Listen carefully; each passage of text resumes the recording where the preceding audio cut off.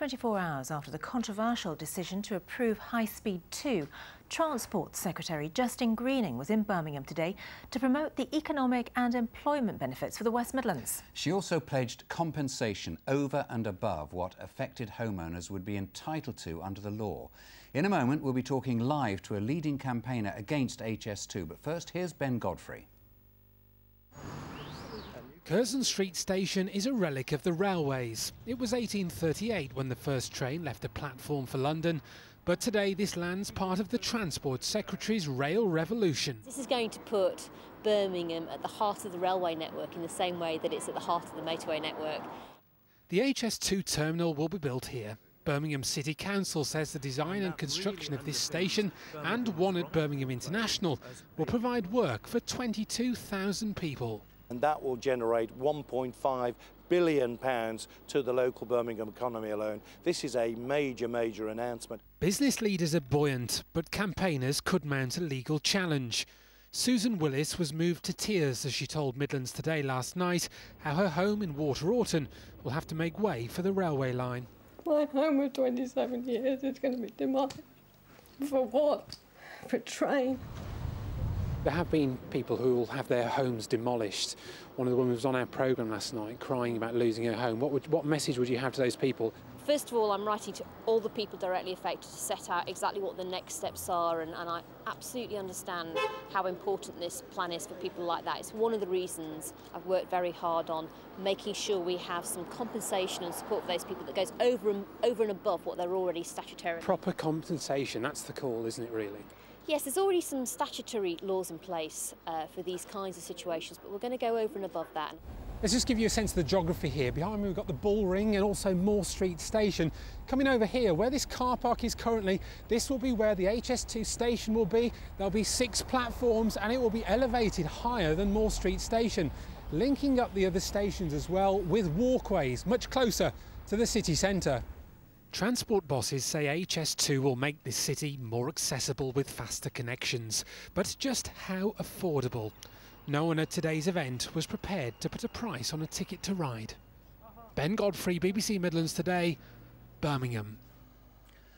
Well, we're joined now from Burton Green in Warwickshire, one of the villages in the path of HS2, by Jerry Marshall, who's chairman of the group AGHAST, who've campaigned against the new railway line. Good evening to you, Mr Marshall. Thanks for joining us. Now, is it now Good time evening, to Hi. say the game is up? It's a fait accompli. A absolutely not. We, we must fight on because it's so damaging for the country. And of course, uh, we have hope from Justine Greening because uh, the government approved Heathrow Runway 3 and then it was overturned. You know, this is going to cost £1,700 per household and it'll cost four jobs for every one that it creates, says the Taxpayers Alliance. So, you know, although some areas in Birmingham will have extra jobs, the, the, the evidence from, say, Lille in France is that the, the wider region will actually lose out and will be worse off. But, but the last government and the And- and, current you know, government the- have acknowledged the greater good. Can't you acknowledge that? The boost to injury, industry, the jobs, the benefits to the region as a, as a whole? That's why we're fighting because you know it's to do with the greater good. This is a lousy scheme. We're in favour of high-speed rail, uh, but there are alternatives which are much, much better value. Even the DFT say they're better value. Yeah, but, but, but the last government and the current invested. government are both saying this is the best scheme.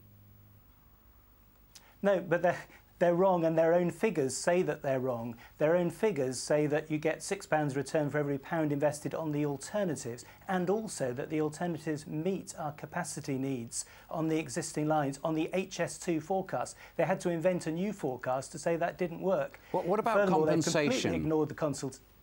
Are, are, are you happy? They're talking about appalling. over and above what mm. you're legally entitled to, what the householders involved are legally entitled to. we were promised to. the best we were promised the best possible compensation by Philip Hammond and we've been completely let down.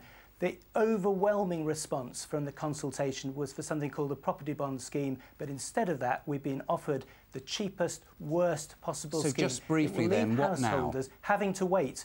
It, it will leave householders having to wait till 2027 to get compensation, and until then, unless they've got a reason to move, a really you know, like moving job, a hardship re reason for moving, tell them they will get no compensation. So this is an appalling deal for householders. Once again, we have been completely let down by the DFT, by the government. Uh, they've reneged on their promises. Well, we'll have to leave it there. Jerry Marshall, thank you. A husband and wife